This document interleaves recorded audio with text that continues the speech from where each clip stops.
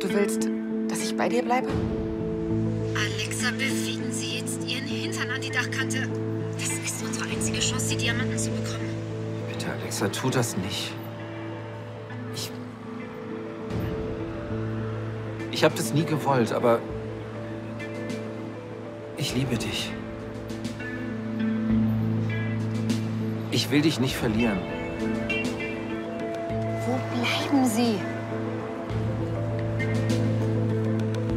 Es einfach nicht mehr.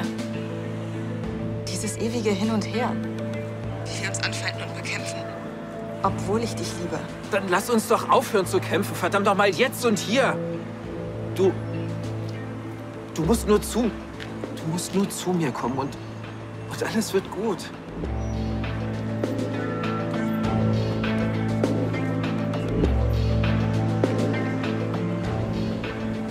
Alexa, Emilio hat die Möglichkeit, den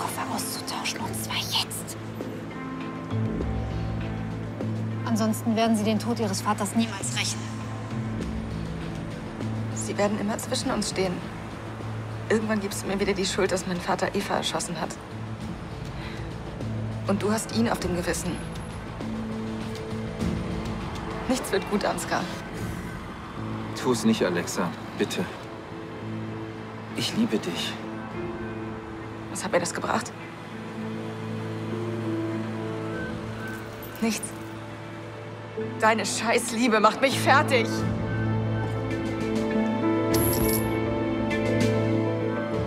Ich kann nicht mehr. Ich will auch nicht mehr.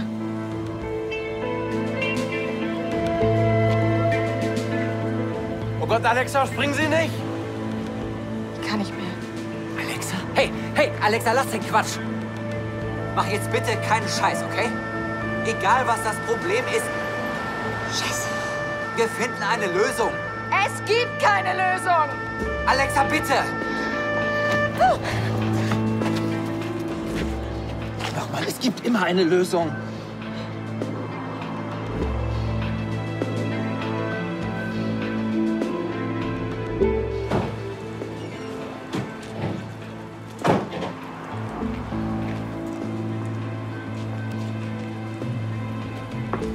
Los, bringen Sie die Diamanten in Sicherheit.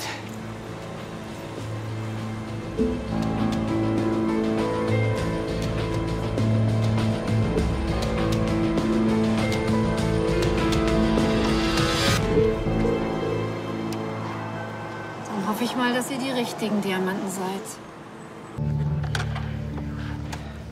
Danke, Emilio. Gute Arbeit. Stimmt das? Alexa wollte sich umbringen?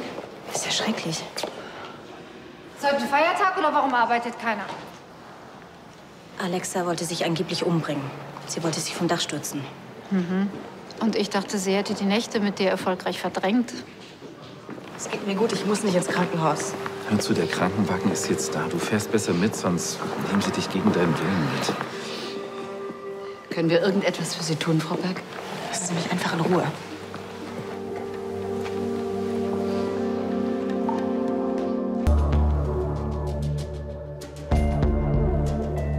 Komm schon, beeil dich, Emilio. Ich muss wissen, ob du es geschafft hast.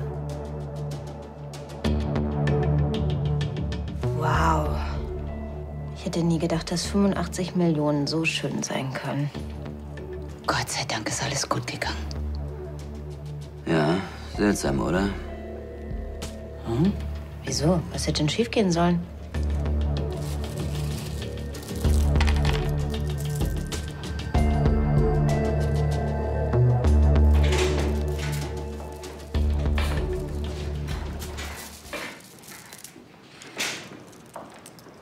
Mir, dass ich hier auf Diamanten im Wert von 85 Millionen gucke. Und dass Elisabeth oben in der Chefetage nur die Plagiate hat. Hast du nicht was vergessen? Sanchez. Keine Zeit für Spielchen. Also in meinen Augen sind eine Million Euro kein Spielchen. Falls irgendjemand versucht hat, an die Diamanten zu kommen, Pech gehabt.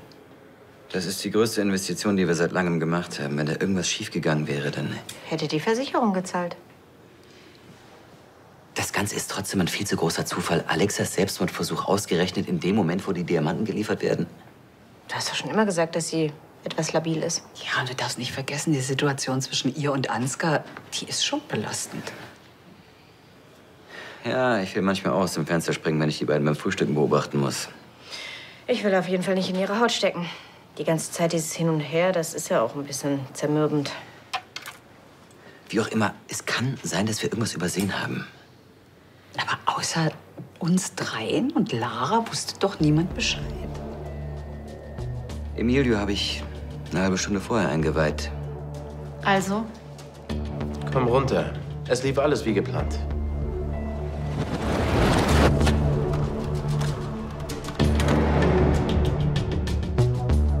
Du warst doch gerade oben in der Chefetage. Haben die einen Verdacht? Null. Die werden schön die Straßklunker in den Tresor sperren und glauben, dass sie auf einem Vermögen sitzen. Und wenn sie die Wahrheit erfahren? Dann bemerken sie, dass die Versicherung gerade mal 100.000 Euro abdeckt. Tja, bisschen doof gelaufen, hä? Das hast du schön gesagt. 85 Millionen. Dann bringe ich die Klunker mal runter in den Tresor. Wenn die wegkommen, haben wir ein echtes Problem. Das, Tristan. Und mach dir keine unnötigen Sorgen. Es ist ja alles gut gegangen. Tja, damit sind Elisabeths Tage als Chefin gezählt. Das wird ihr das Genick brechen. Mir immer noch eine Million Euro. Was machst du denn hier? Ich habe Emilio gebeten, mir von Alexa zu berichten. Wenn unsere Marketingchefin durchknallt, dann sollte ich das wissen. Danke, Sanchez.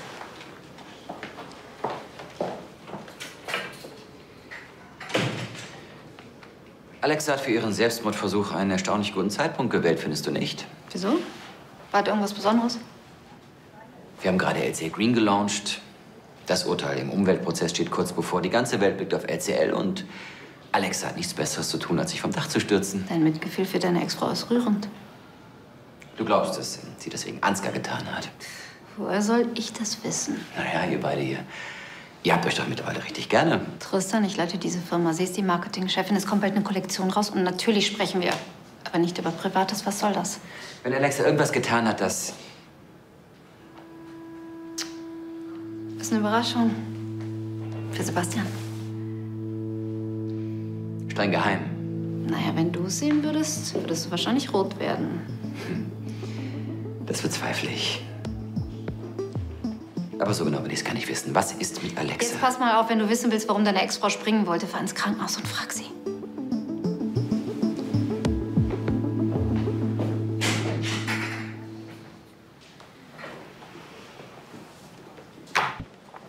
Gibt's schon was Neues? Wird noch untersucht. Ich hätte nie gedacht, dass Alexa sowas tun würde. Sie ist. ähm, Sie ist nicht der Typ für einen Selbstmordversuch. Das mir eigentlich schon gestern Abend denken können. Sie wirkte irgendwie so enttäuscht. Vielleicht hat sie es ja auch absichtlich getan. Vielleicht hat sie nur so getan, als ob sie springen will, weil, weil sie dir einen reinwürgen wollte. Glaube ich nicht. Ich habe ihren Abschiedsbrief gelesen. Und abgesehen davon, ich war mit ihr da oben auf dem Dach. Sie wollte springen. Ich habe es in ihrem Blick gesehen. Sie wollte wirklich springen.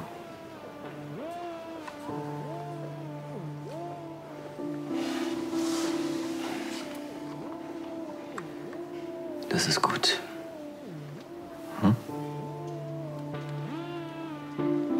Das ist nicht gut.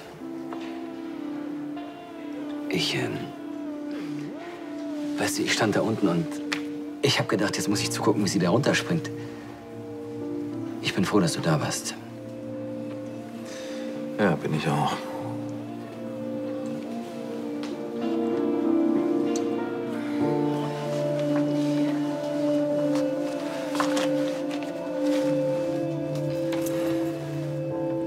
Ich glaube, das gehört Alexa.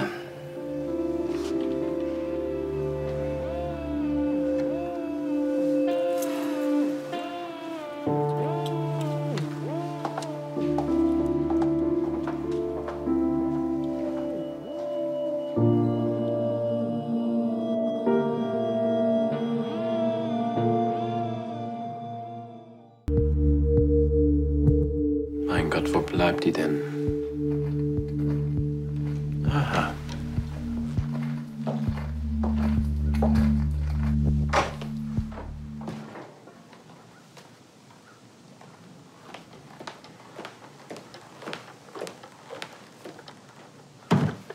Willkommen zu Hause. Wie bist du hier reingekommen? Nein, nein, nein, nein, nein. Das ist nicht die Frage, um die es hier geht. Die wäre dann wohl eher, wann bekomme ich meinen Anteil? Du schuldest mir eine Million Euro. Glaubst du, ich habe so viel Geld hier flüssig rumliegen? Das ist mir scheißegal. Ich will meine Kohle und zwar jetzt. Emilio, hör mir mal zu. Es sind schon dickere Fische erstickt, weil sie mich unter Druck setzen wollten. Nein, nein, nein, nein, nein. Warte mal. Wir haben doch einen Deal, oder? Sag mal, warum reden wir über das Geschäftliche? Wie wär's, wenn wir vorher ein bisschen feiern? Oben in meiner Suite. Sei denn, du hast keine Lust. Gut. Gehen wir. Und wie fühlen Sie sich? Ich will einfach nur nach Hause. Hören Sie, ich hatte einen schlechten Tag und ich habe total überreagiert, aber jetzt geht's mir besser. Also kann ich nach Hause? Frau Berg, Sie haben versucht, sich umzubringen. Ich habe die Pflicht, zu beurteilen, ob Sie weiterhin suizidgefährdet sind. Bitte. Sollte es der Fall sein, müssen wir Sie vorübergehend zu Ihrer eigenen Sicherheit in eine geschlossene Einrichtung unterbringen. Sie wollen mich in die Klapse stecken. Nur zur Beobachtung. Und nur für zwei Tage. Und sie wollte sich da echt runterstürzen? Ja, wollte sie. Das war echt nicht lustig. Wäre aber praktisch gewesen. Kim, Was denn? Ja, uh, ist total schlimm, dass sie sich umbringen wollte, aber rein pragmatisch gesehen hätten wir ein Problem weniger. Hören Sie, Sie helfen mir am meisten, wenn Sie mich einfach gehen lassen.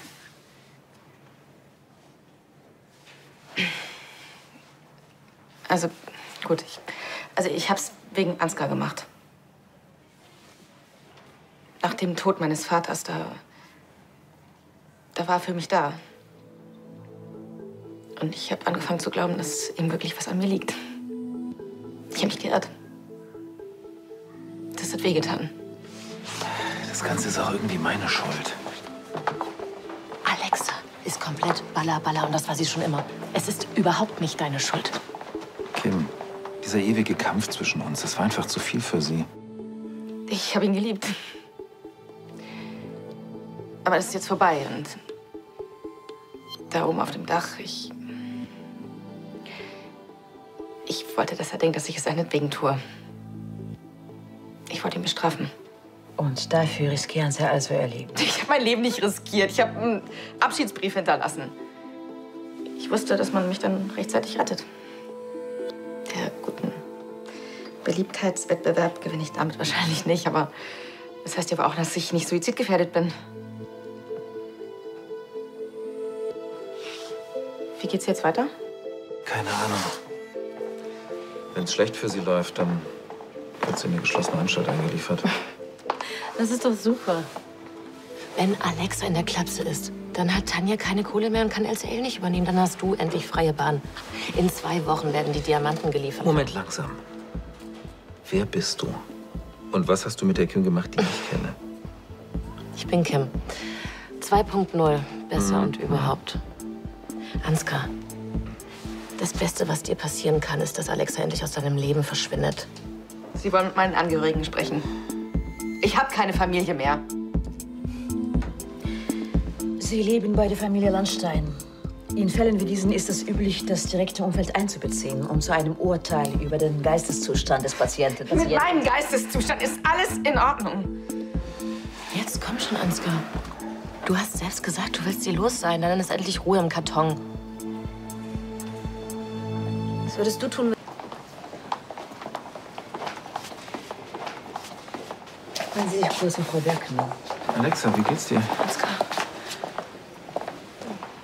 Was, was ist denn los? Äh, Wie geht es hier? Beruhigen Sie sich, Graf Landstein. Ich würde gerne mit Ihnen kurz reden. Was mit mir? Warum? Frau Doktor, für Sie. Einen Moment, bitte. Wenn du auch nur ein Wort von dem, was du auf dem Dach gesagt hast, ernst gemeint hast, dann musst du mir jetzt helfen. Bitte, du darfst mich jetzt nicht hängen lassen, sonst sperren die mich ein. Jetzt komm bitte. Können wir dann? Kommen Sie bitte mit. Sie sehen. Wow, 85 Millionen Diamanten. Wahnsinn. Nicht anfassen. Nur gucken. Sag mal, wann bekomme ich eigentlich meine Million? hä? Warum hast du es so eilig? Ich will einfach nicht von dir beschissen werden. Sanchez, wir beide sind Partner. Und ich hätte große, große Lust, auf diesen erfolgreichen Tag mit dir anzustoßen. Cheers. Darauf trinke ich gern. Wir haben dich eigentlich erst in zwei Tagen zurückerwartet.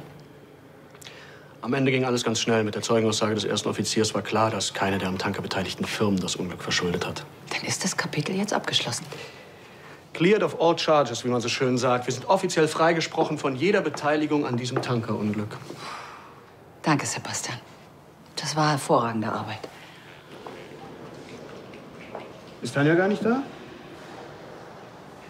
Ich hoffe, sie hat die Füße stillgehalten. Sie hat nichts gegen mich unternommen.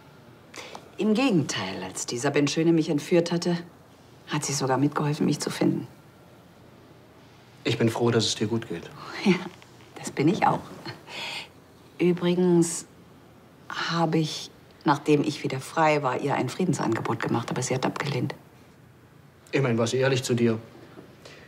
Wo steckt sie denn jetzt eigentlich?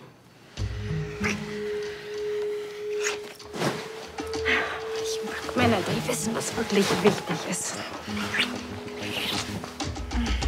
Ich weiß nicht, aber ich glaube, sie wollte nach Königsbrunn. Gut, dann werde ich jetzt auch mal nach Hause fahren. Meine Verlobte überraschen. Sebastian. Schön, dass du wieder da bist.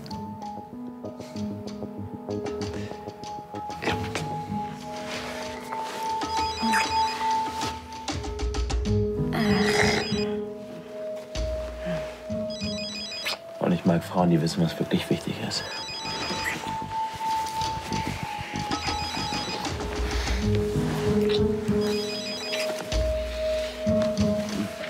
Da bist du bei mir an der richtigen Stelle.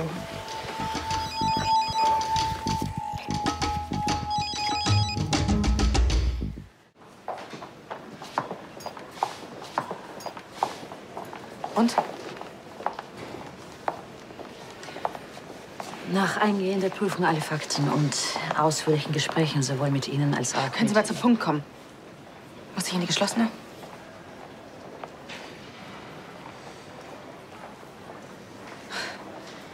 Du hast mich hingehängt. Du Arsch. Graf Landstein hat eingeräumt, dass Sie beide von Konflikten aufgeladene und daher für Sie beide eine emotional sehr belastende Beziehung haben.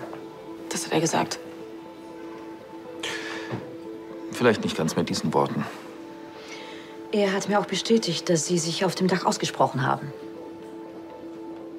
Und er ist sicher, dass Sie beide einen Weg gefunden haben, damit umzugehen. Ja, das. Ja. Außerdem hat Graf Landstein mir versichert, dass seine Familie und er alles tun werden, um Ihnen in der kommenden Zeit Stabilität zu geben. Dann. Dann dürfen Sie nach Hause.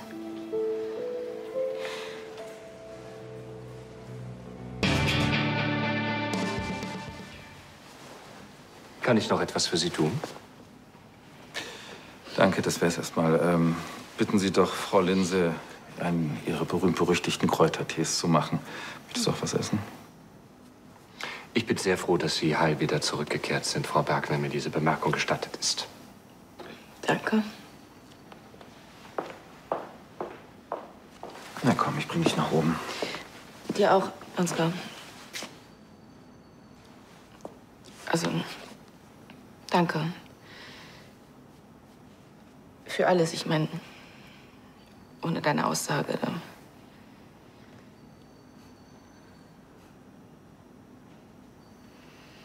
wolltest es wirklich tun, stimmt's? Ich hätte da oben auf dem Dach alles getan, damit du nicht springst. Ich hätte es echt wissen müssen. Was? Na, dass du gelogen hast. Du liebst mich nicht, du willst nicht mit mir zusammen sein. Du wolltest nur, dass ich nicht springe. Ich hätte da oben alles gesagt, damit du nicht springst. Weil ich dich liebe. Warum denn sonst?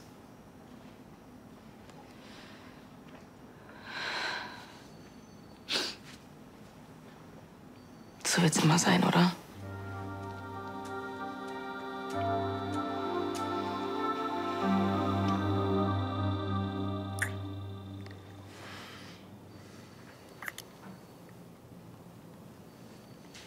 Das, das war ganz gut, Sanchez. Ich weiß. Diamanten haben mich schon immer unglaublich angeturnt. Nur Diamanten also, ja? Ha?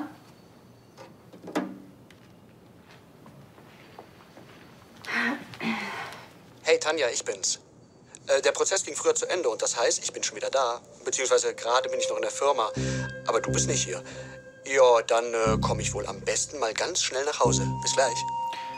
Sag mal, kann es sein, dass du vielleicht ein bisschen... Emilio, zieh dich an. Hm? Zieh dich an und verschwinde. Sebastian ist auf dem Weg hierher. Er kann jede Sekunde hier sein. Ähm, okay, aber du schuldest mir noch eine Million Euro, das Nimm deine Sachen, quatsch mich nicht voll und verschwinde. du. Okay, war trotzdem geil, Süße. Geil. Ich habe das nie gewollt, aber ich liebe dich. Ich will dich nicht verlieren.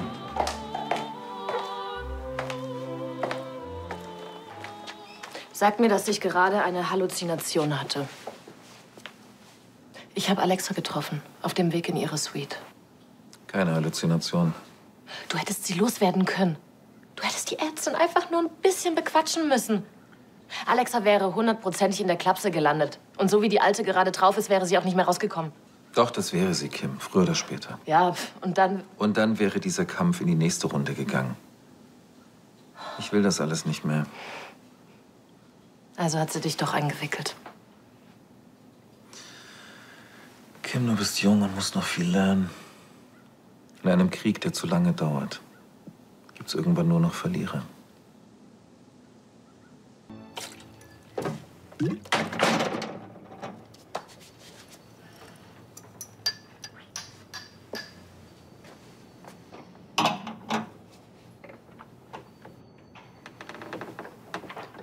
Ich bin wieder da. Oh, hast du mich erschreckt. Das nenne ich mal eine herzliche Begrüßung. Kaum zur Tür rein und schon der erste Vorwurf. Tja, das war eine Überraschung. Du bist zwei Tage früher zurück. Ich ähm, habe die Nachricht gerade erst gehört.